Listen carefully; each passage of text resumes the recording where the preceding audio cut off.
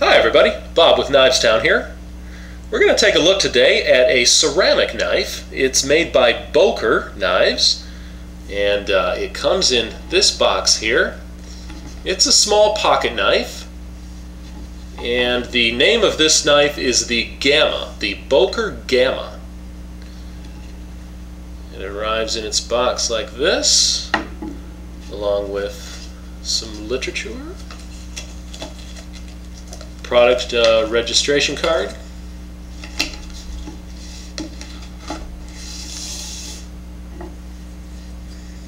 Let's get a close-up of this.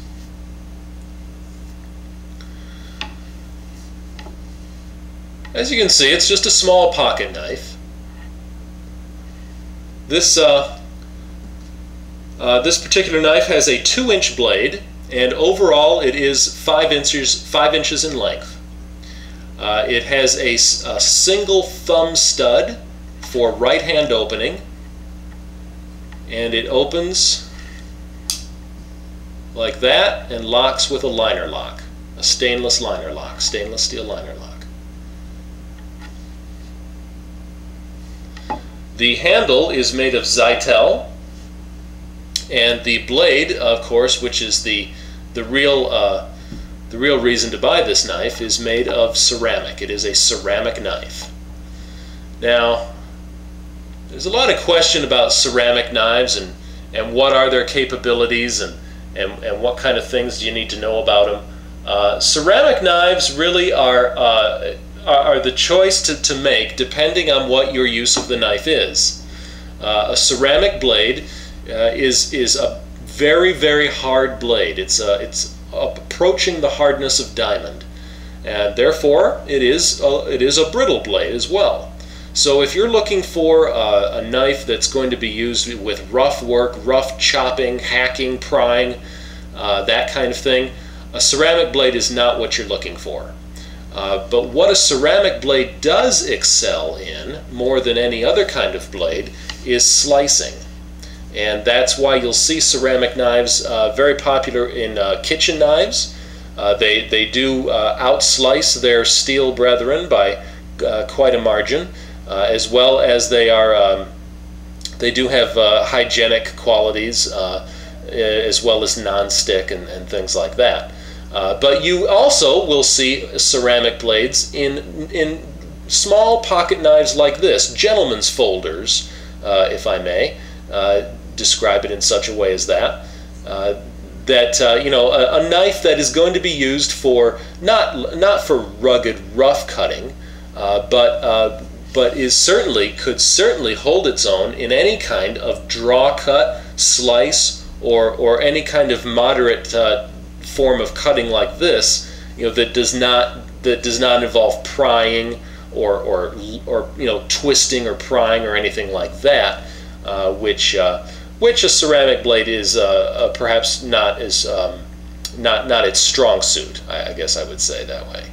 Um, there are there are uh, different kinds of ceramic blades you can get. You may have seen uh, uh, the kitchen knives, for example, that I spoke of with white blades. Uh, the and that is also a, a ceramic blade.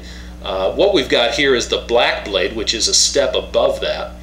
The, a ceramic blade, just, just as an FYI, a ceramic blade is made from uh, zirconium oxide. And the way they make it is uh, it's, it's, made through, uh, through compressing zirconium oxide powder under very high pressures and very high heat uh, and, and adding certain um, binding elements within the, within the mixture uh, and, and compressing it like that for, for a period of time until, until it's released uh, and taken out of the heat, and then you have a, a blade blank, which um, which is then is then honed to the shape that uh, honed and sharpened, uh, and that that will give you your white ceramic blade, and that is that is a, a zirconium oxide blade. It is it is near as hard as a diamond.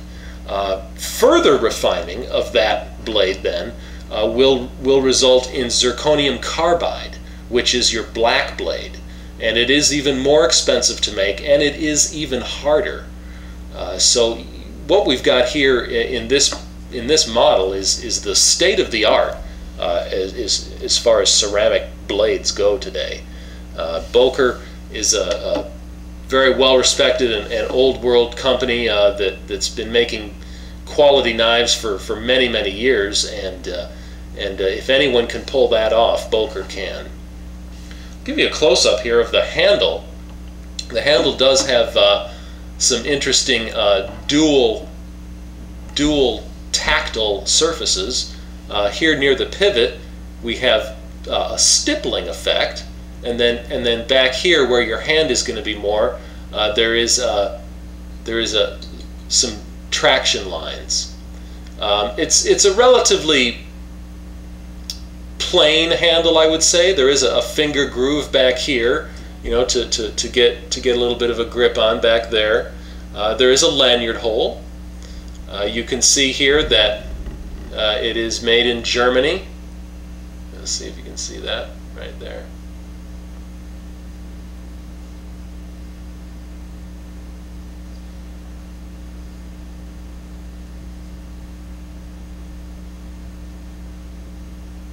Take a look at that blade if you can see that reflection there.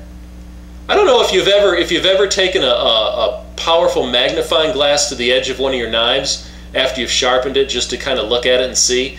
And even and under even after sharpening it with a fine hone, when you when you magnify the edge of a steel blade, it, you can see that it's ragged and there are jagged jagged points in there. I took a, a powerful magnifier to the edge of this blade and uh, and it is just it was just smooth as glass, not not any of the of the jaggedness that you would see under high magnification of a steel blade, and uh, you, uh, hoping you can kind of see some of that gleam there. That's what that ceramic blade will do for you. It's uh, it's a very very hard blade. Uh, as far as resharpening, uh, obviously, it will hold an edge much, much longer than, than steel. Uh, doesn't mean it'll never need resharpened, uh, but uh, it, it'll go a very long time before it needs to be resharpened. And then uh, it is recommended that you send it to the manufacturer uh, for resharpening. Boker does that for a very nominal cost. Locks up with a liner lock.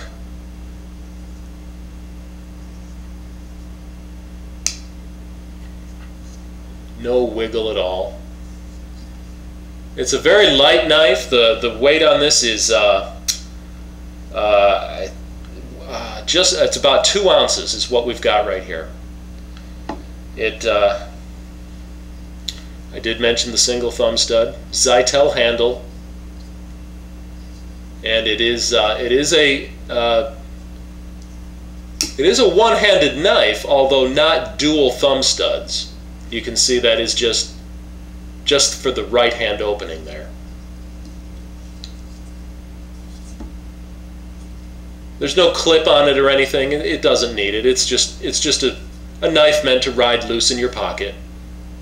It is truly just a pocket knife.